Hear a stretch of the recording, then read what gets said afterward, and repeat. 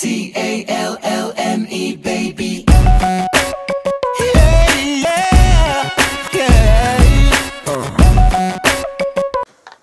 Grüß Gott, jetzt kommt Teil 2 von meinen Nagellacken. Yay! Es sind nochmal so viele, schaut euch das an. Also katastrophal. Vielleicht schaffe ich es, es übers Herz zu bringen. Ich meine, zwei habe ich schon auf die, ist nicht viel für das, was ihr jetzt gerade gesehen habt, aber zwei habe ich schon geschafft, auf die Seite zu legen. Und vielleicht schaffe ich es bei noch ein paar. Ich hoffe es wirklich sehr, weil das ist echt zu viel. Äh, fangen wir mal wild drin an rumzuwühlen. Ich habe noch eine Essenz hier. Das war mal aus dieser Sunklappe weil ich dieses Braun so gut fand. Das, ich habe den, ich habe da richtig viel davon. Ich habe den Nagellack, den Creme Lidschatten und noch irgendwas. Ich glaube Blushes oder so habe ich auch noch davon. Ja. Dann habe ich wieder Essenz, äh, der aus dieser Lights of Orient LE. Der, die, die LE war ja auch sehr schön und der Nagellack ist auch schön. Nur ist das halt so, das ist halt das Blöde dran. Wenn man so viel hat, dann kann man halt wenig verwenden. Mm, auf die bin ich urheikel. Das war aus der Fairy Tale Lele von Essence und die, die mag ich so gerne. Die habe ich schon lange jetzt nicht mehr, mehr verwendet, sollte ich vielleicht mal wieder. Aber ich habe ich hab so Angst, dass sie mir ehrlich gesagt kippen und dass, äh,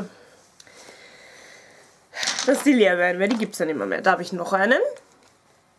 Äh, das ist der hier. Die fand ich alle urschön wirklich alle. Da habe ich noch einen und ich sehe gerade noch einen. Ich glaube, ja. Fünf waren es, ja. Habe ich mir alle gekauft. Sogar den Lipgloss hatte ich äh, in lila und den so rosa. Und die Glitter-Eyeliner hatte ich auch, aber die musste ich entsorgen. Und deswegen äh, will ich die mal benutzen, weil nicht, dass die kaputt werden.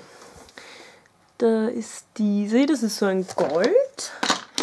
Die habe ich eine Zeit lang nur auf tragen. Und dann natürlich wieder aufgehört. Weil bei dem fehlt schon viel. Bei dem da.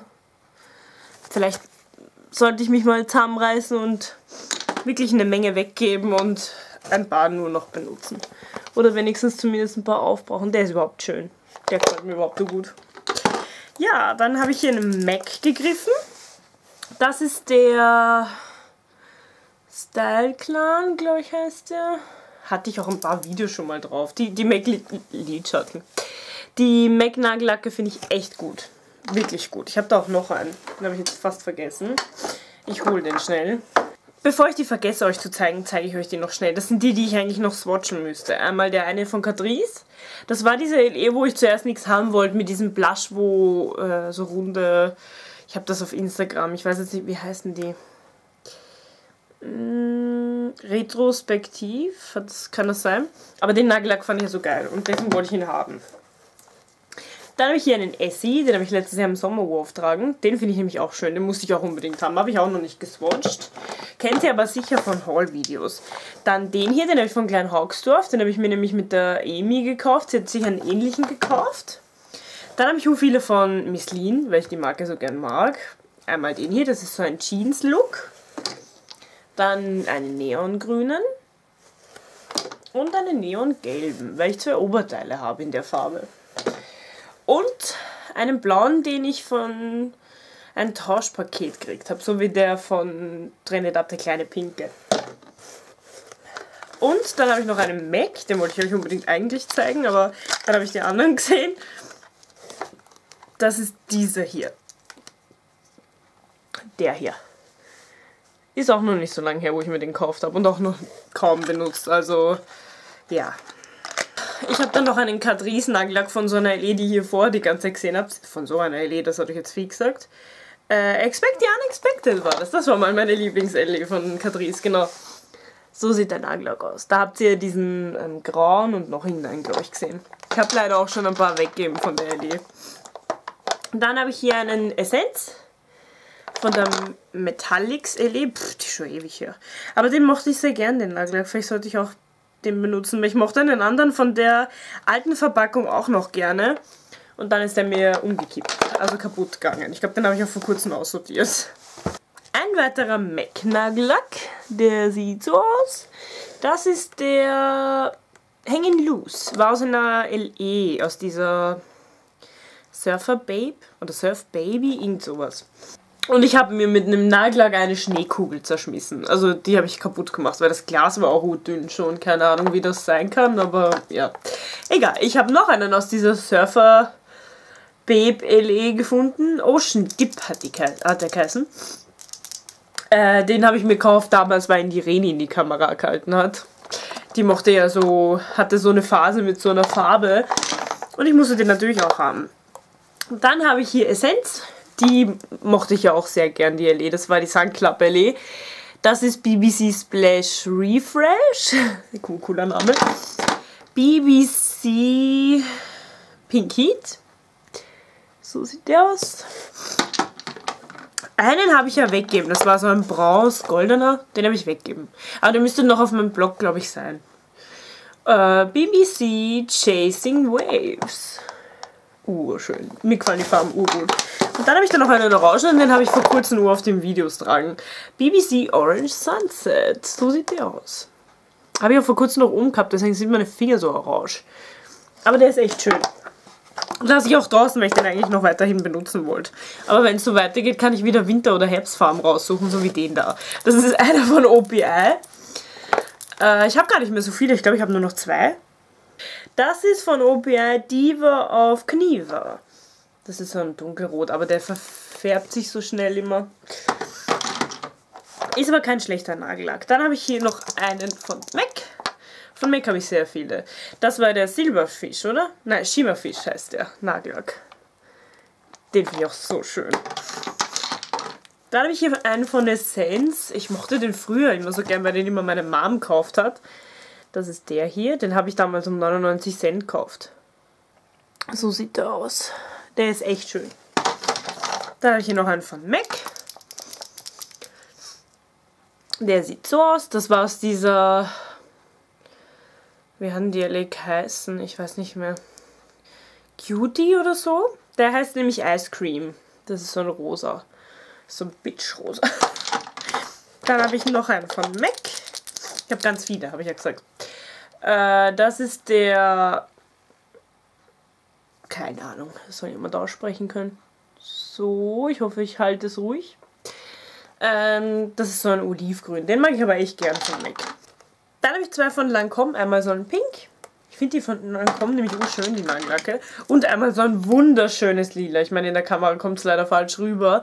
Aber der ist so schön. Das bringt euch nichts, wenn ich die Farbnummer sage, weil die zwei Farben gibt es leider nicht. Nicht mehr. Deswegen durfte ich sie mir von der Arbeit mit nach Hause nehmen. Dann habe ich hier einen Nagellack, den liebe ich. Ich kann ihn leider nicht aussprechen, deswegen halte ich ihn euch gleich wieder so in die Kamera. Wieder einen von MAC ist das. Den gibt es, glaube ich, sogar noch. Der sieht so aus. Das ist so ein schöner Nagellack, ich liebe ihn. Ich habe überlegt, ihn aufzubrauchen, weil es ihn ja angeblich eh noch gibt. Aber ich bin mir noch nicht sicher, ob ich das wirklich mache. Dann habe ich hier einen von Essence. Den habe ich manchmal im Winter öfter tragen, weil ich mag die Farbe so gern von dem. Das ist so ein richtiges dunkelbraun und ich stehe auf sowas. Also das mochte ich schon immer.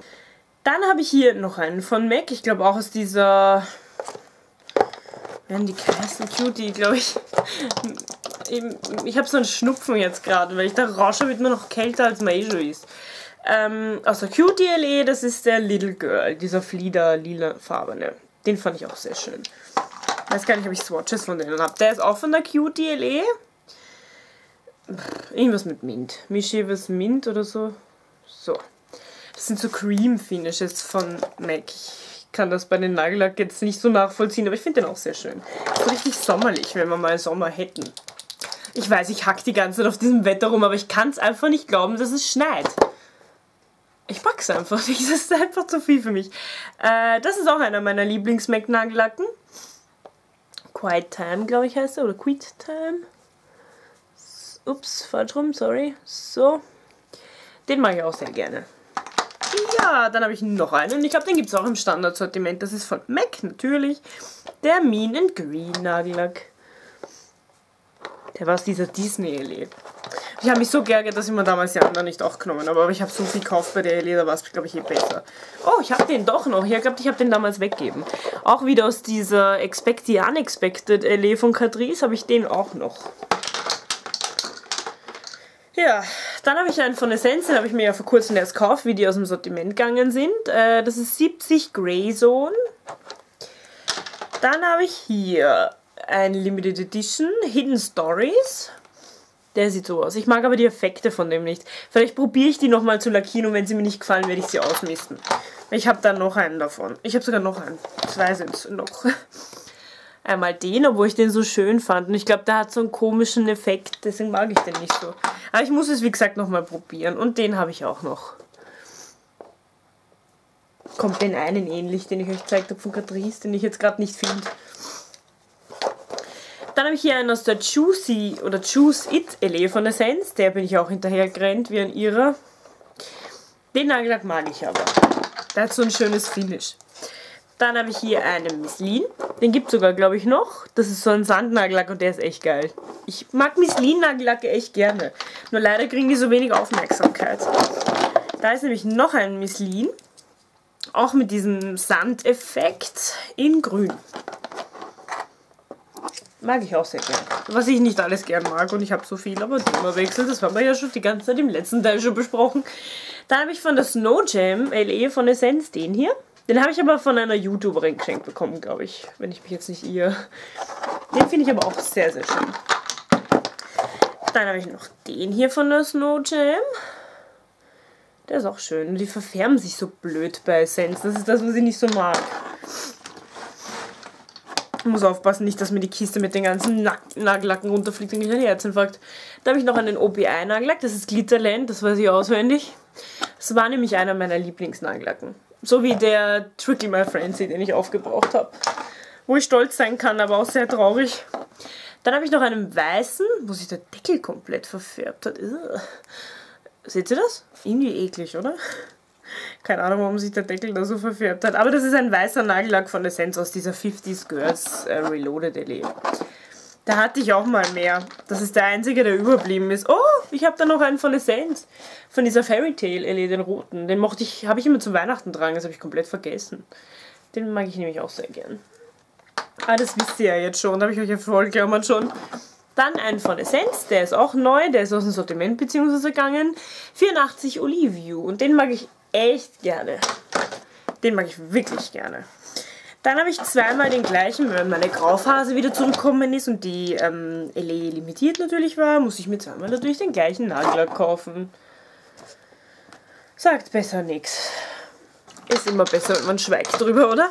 Von einer Freundin habe ich dann von der gleichen LE noch den pinken bekommen. Ich mag die Verpackung von denen so. Ich, über, ich ärgere mich auch, dass ich mir damals den gelben nicht mitgenommen habe. Dann habe ich da einen, den werde ich vielleicht weggeben. Weil ich mochte den eh nicht. Den werde ich weggeben.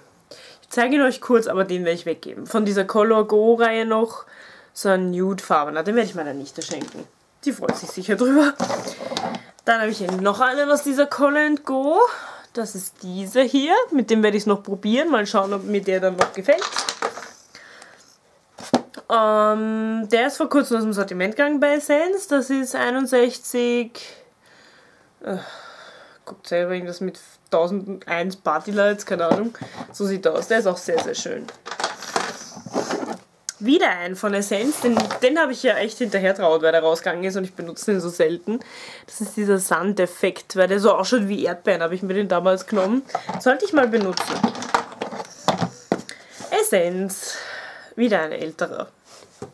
Von dieser Kon Der verfärbt sich total. Seht ihr das? Das ist das. Schluck auf gleich, was mich bei Sense extrem nervt, dass die sich so dermaßen verändern. Ähm, ja. English Rose heißt der. Der ist aber von der Farbe her sehr schön. Ein limitierter von Essence aus der Denim Wanted LE, wenn ihr euch dann die noch erinnern könnt. Die LE fand ich auch cool. Da ich, hatte ich auch mal einen grauen, habe ich glaube ich weggegeben. Keine Ahnung wieso. Dämlich, oder? Aber den habe ich noch behalten. Äh, dann habe ich einen von Catrice, den habe ich auch eine Zeit lang oft verwendet, aber ich glaube, der ist zu ähm, zähflüssig jetzt zur Zeit. Ich hoffe es nicht, weil ich mag den wieder benutzen. Notfallshalber benutze ich ihn für die Zehennägel, aber den will ich unbedingt aufbrauchen und nicht weghauen. Das ist von Catrice, der From Dusk Till Dawn, mein aller, allerliebster Nagellack von Catrice gewesen. Gibt es aber auch schon lange nicht mehr.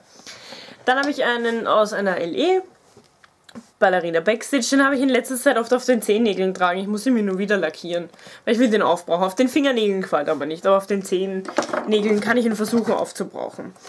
Vor dem Nagellack kann ich mich auch nicht trennen. Das ist vom P2 der Gigantic Nagellack. Der schaut schon abgefuckt aus, aber von dem kann ich mich nicht trennen. Ich kann ihn nicht lackieren, weil ich glaube, er ist schon kaputt.